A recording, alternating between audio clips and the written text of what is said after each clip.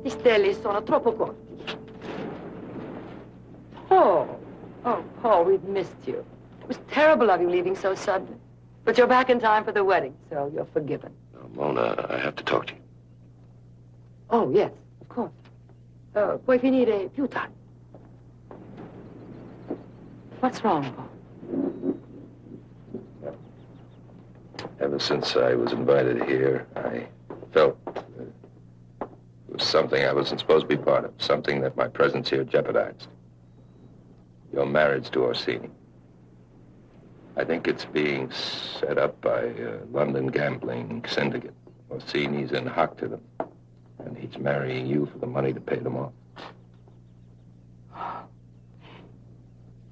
Is that all you have to tell me, Paul? Isn't that enough? Not enough to stop the wedding, if that's what you mean.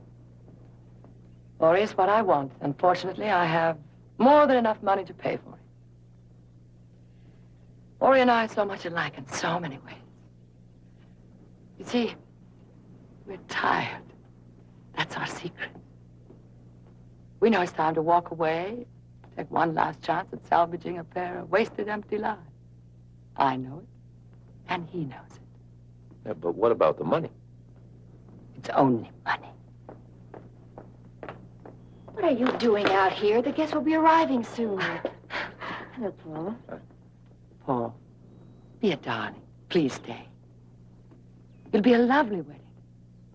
All my weddings are.